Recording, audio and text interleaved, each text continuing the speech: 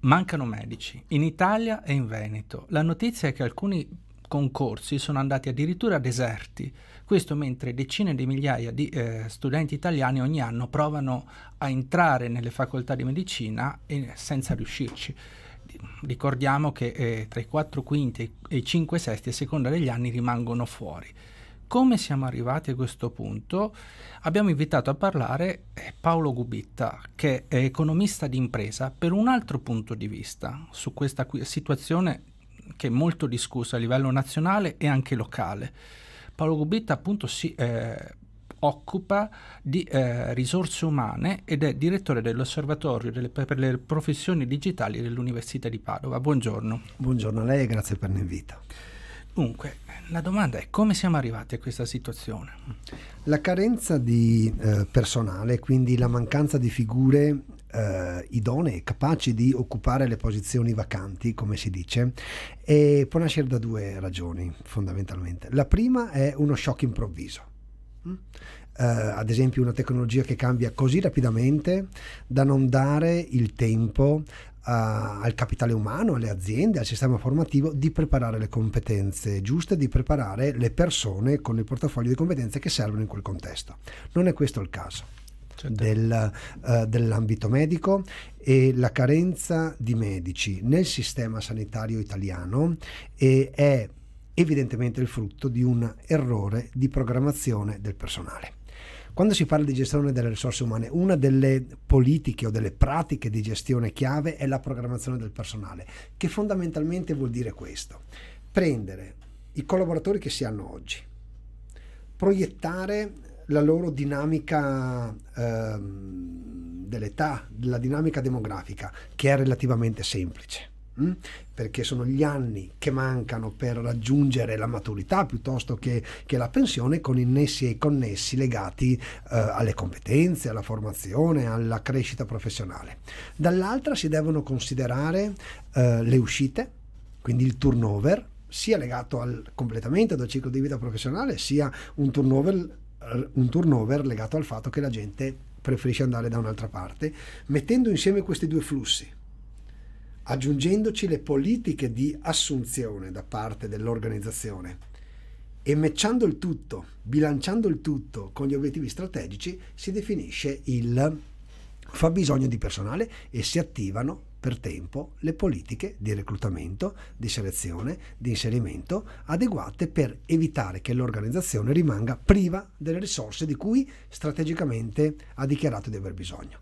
Nel caso specifico, quando parliamo di medici, quando parliamo di sistema sanitario, siamo di fronte a variabili che non subiscono shock esterni. La demografia non è scioccante, è scioccante il dato sulla demografia eh, in Italia o in Veneto oggi, ma le dinamiche demografiche sono lente.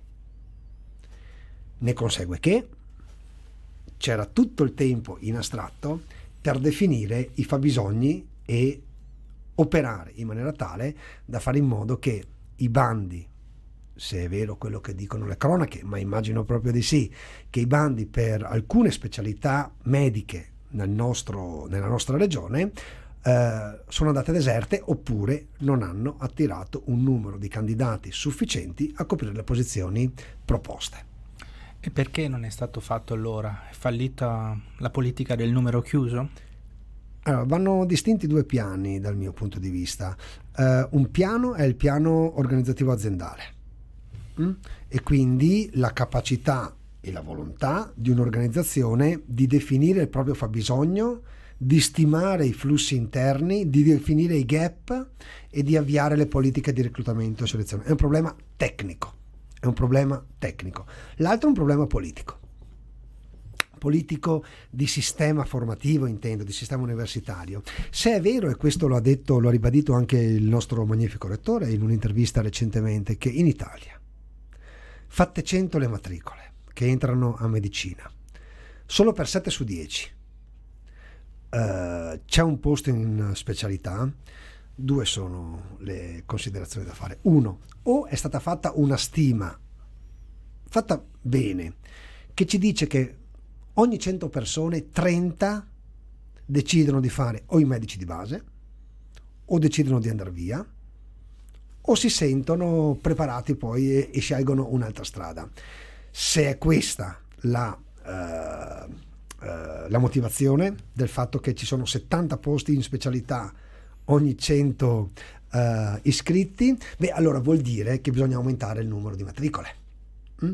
Se invece, come suggerisce il rettore di Padova, il collo di bottiglia sta nelle scuole di specialità, ovvero ti seleziona l'ingresso, lascio fuori all'ingresso di medicina un numero importante di, di persone e quelle che prendo, a quelle che prendo non garantisco un posto di specialità, questo vuol dire non rispettare un basilare patto formativo con gli studenti, con le famiglie e con la società.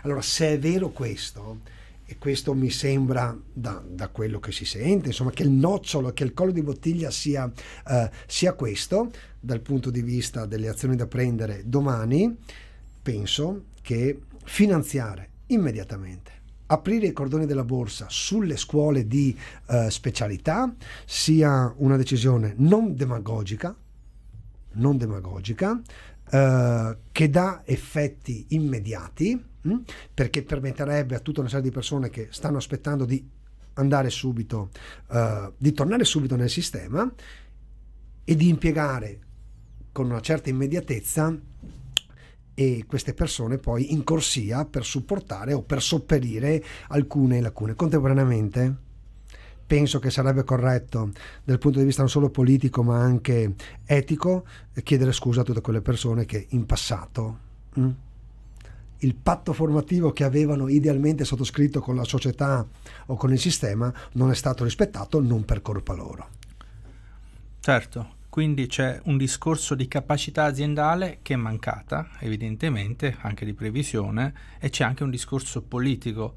Ecco, ma questo lo chiedo all'economista.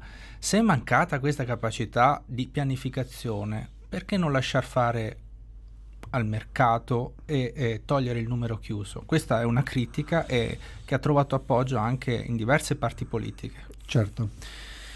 E togliere d'amblè il numero chiuso per una ragione contingente è come fare un condono fiscale. Diseduca. Mm? E allora, se il, chi propone di togliere il numero programmato o numero chiuso che dir si voglia, lo fa per una ragione ideologica, cioè perché pe- ideologica nel senso che perché pensa che l'accesso non possa essere limitato? Mm?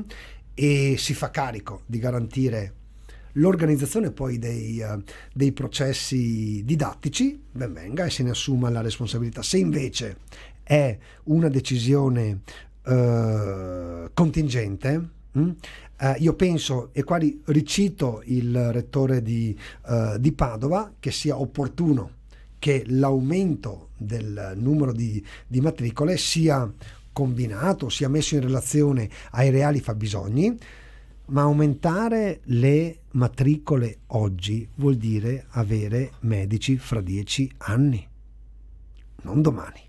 Quindi è una decisione che non risolve il problema, il problema odierno. Noi il problema ce l'abbiamo adesso e verosimilmente per alcuni, uh, per alcuni anni. Quindi per questo insisto sul fatto che sia preferibile finanziare Uh, le scuole di specialità, dotandole eventualmente anche uh, delle risorse per fare gli investimenti necessari.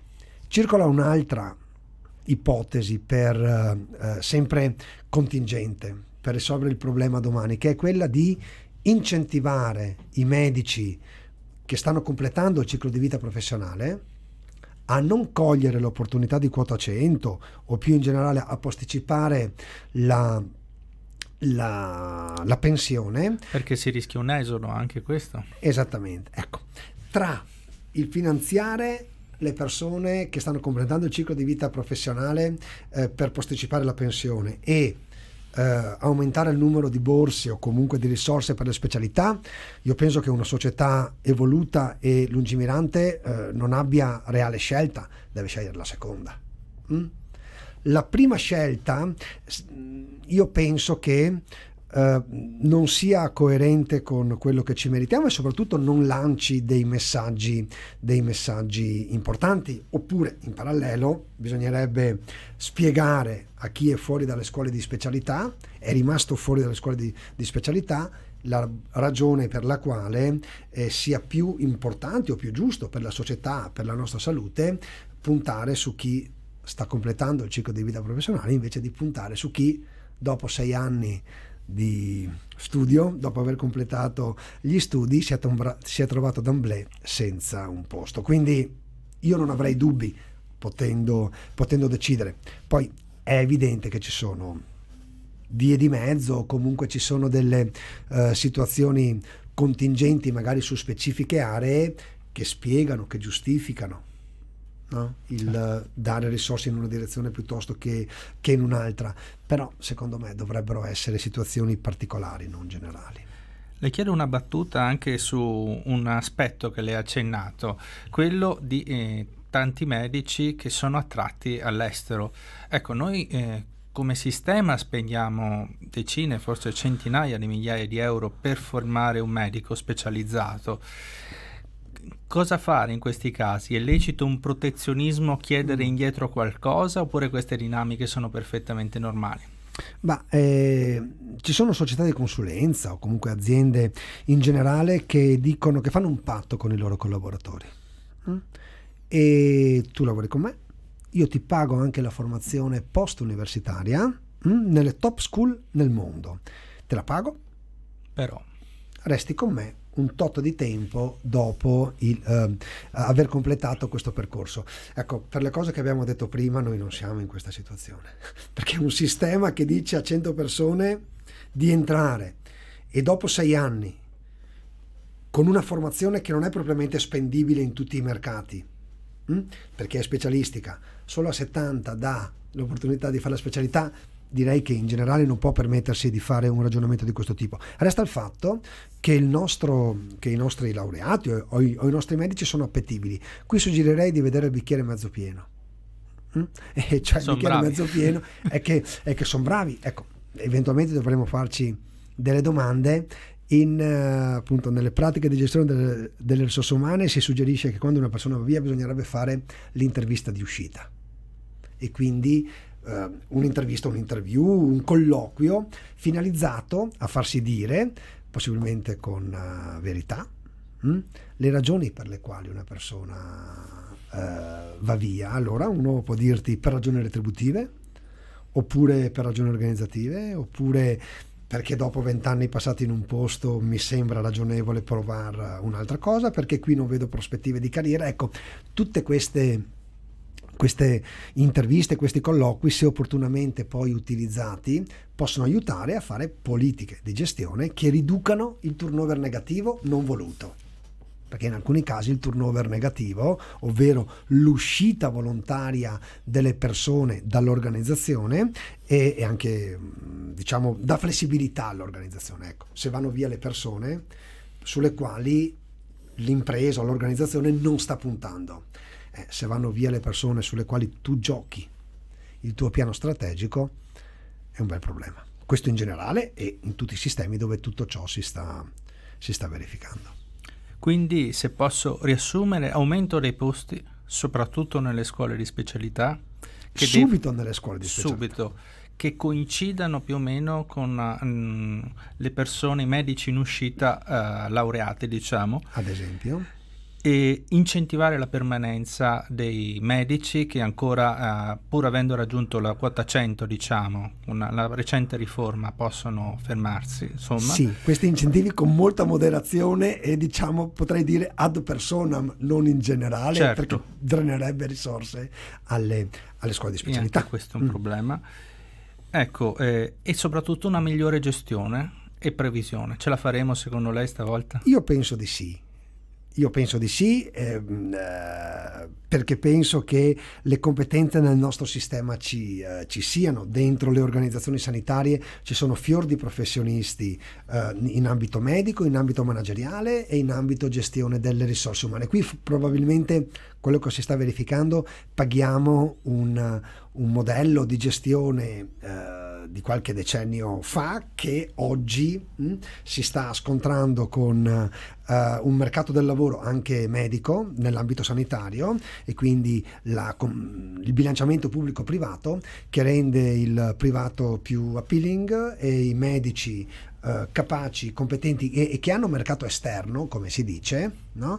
è, è ragionevole che siano attratti dalle offerte del sistema che magari eh, garantisce lo stesso servizio, però con condizioni organizzative, or, condizioni organizzative più, eh, più, eh, più, coerenti con il mestiere di medico. Mi permetto di fare un ultimo paragone parlando sempre bene del mio Ateneo. Il mio Ateneo, per attirare gli, gli scienziati brillanti dall'esterno. L'Università di Padova. L'Università di Padova, ovviamente e non mette a disposizione solo stipendio,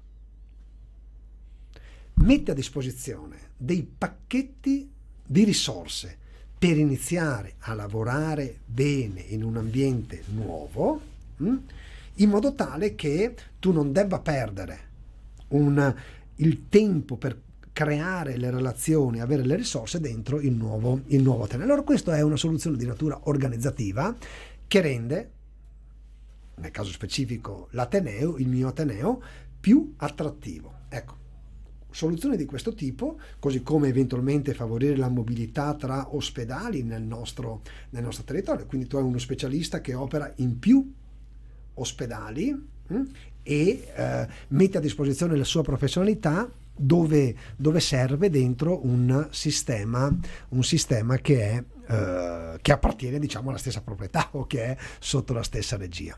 Ecco, quindi agirei sull'organizzazione e non solo sul pacchetto retributivo monetario in sé, perché lì avremmo sempre perso e ci sarebbe sempre l'alibi che le risorse non sono sufficienti. Le persone lavorano anche per denaro, ma non solo per denaro. E l'economia si occupa anche di questo. Esattamente. Quindi prendersi cura delle persone mm. e delle professionalità. Ringraziamo il professor Paolo Gubitta che ci ha fatto vedere eh, l'amministrazione della sanità in un modo diverso che è quello della cura e della gestione delle risorse umane. Noi vi diamo appuntamento con i prossimi approfondimenti del Bo Live.